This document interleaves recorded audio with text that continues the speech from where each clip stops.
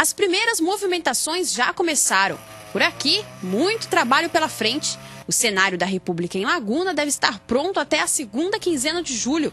O local é o mesmo dos outros anos, as margens da Lagoa Santo Antônio. Um belíssimo visual e que esse ano promete agradar ainda mais o público com novidades. Teremos um número maior de pernas e paus esse ano, alguns, alguns, algumas novidades em relação aos efeitos especiais que são feitos pelo Farjala, que é o diretor de efeitos especiais da Globo, no Rio de Janeiro. E teremos também alguma, algumas novidades em relação à pirotecnia também. Com mais de 500 atores, o Grande Teatro ao ar livre ainda conta com os efeitos especiais e pirotecnia musical.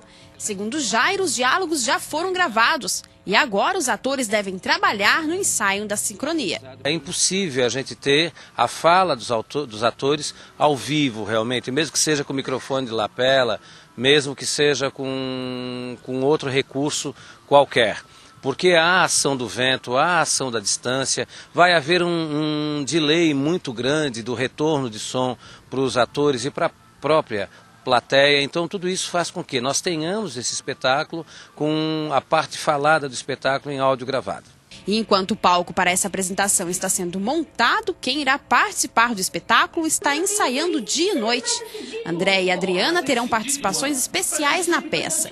E mesmo depois de quatro anos encenando a República, eles garantem que sentem um frio na barriga ao ver a arquibancada lotada.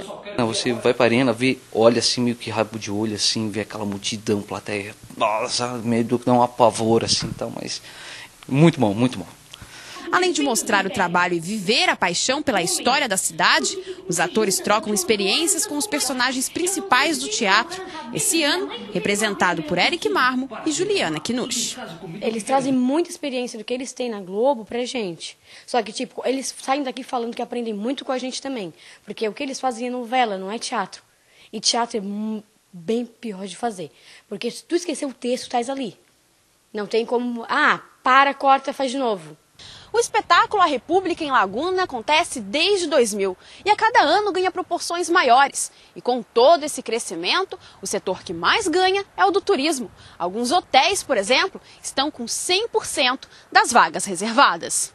Nós estamos hoje na primeira semana de espetáculo com 100% da nossa taxa de ocupação e estamos aí na segunda semana com 60%. Então, com certeza, são números que nos indicam uma consolidação do espetáculo como espetáculo. A maioria dos turistas vem do Rio Grande do Sul, norte do estado e Paraná. Então isso nos dá um indício que é um espetáculo que nós, lagunenses e região sul de Santa Catarina, temos que apostar e acreditar. E como o lugar em questão é Laguna, podemos afirmar que além de curtir um belo espetáculo, quem visitar o município poderá desfrutar de toda a beleza natural que a cidade de Anitta tem a oferecer. Pelo menos o que depender dos golfinhos, o bem-vindo já está.